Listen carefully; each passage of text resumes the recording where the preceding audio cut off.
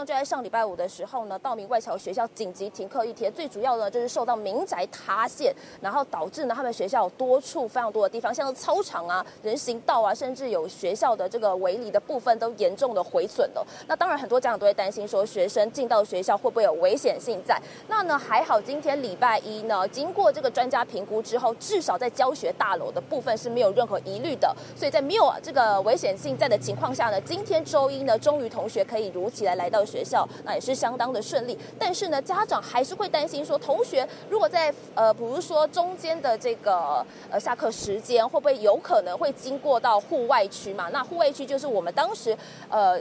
研判说会比较危险的部分。那北市这个教育局呢，也帮我们大概了解一下目前呃应应的后续。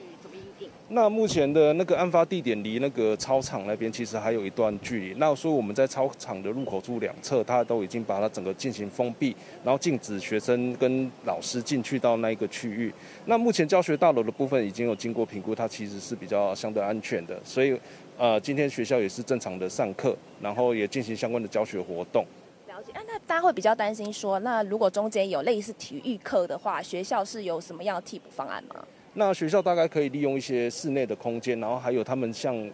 呃，校舍之间它有一些草地的一个部分，那它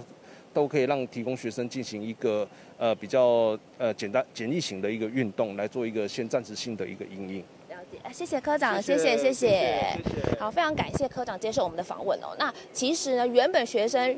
也是有收到校方的 email，说有可能今天要来进行线上的课程。那还好，因为这个北市教育局、还有学校、还有专家三方的评估之后呢，是说是有其他应应方案的。最主要、最主要还是教学大楼没有受到影响。那当然，校方也是很希望说，这个呃建设公司还有北市教育局可以协助他们进行这个，比如说毁损的地方，赶快来进行修复。当然，家长也会比较放心。那学生呢，在学校也会更加安全。